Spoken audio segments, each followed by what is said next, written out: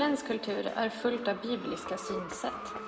Uppfyllen jorden och läggen den under eder och råden över fiskarna i havet och över fåglarna under himlen och över alla djur som rör sig på jorden. Tillväxt är karaktäristiskt för den här andan, såväl som förenkling och hastighet. För oss verkar dessa karaktäristika hårda, pyramidala och fyrhörniga. En anda som värderar matematik, marschmusik, fyrkanter, former och formler.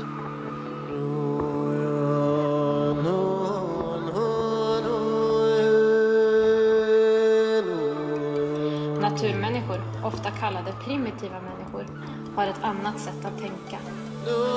Människan är en del av naturen, inte dess herre. Allting beror på vartannat. Saker sker därför att de bör ske. Harmoni råder i naturen och den erkänner alla dess irrgångar.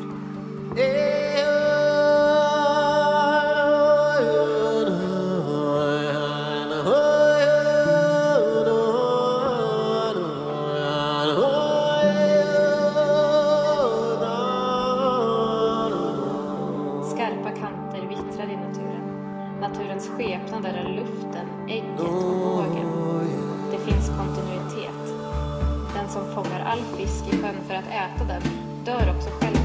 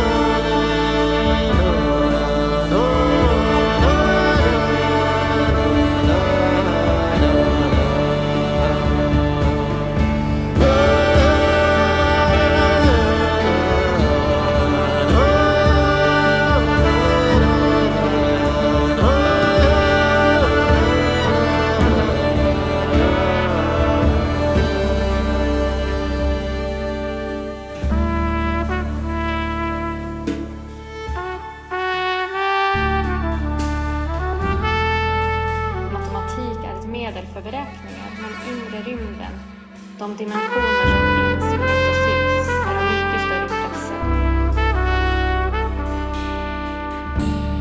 Ursprung, enhet, sammansmältning är det mest betydelsefulla.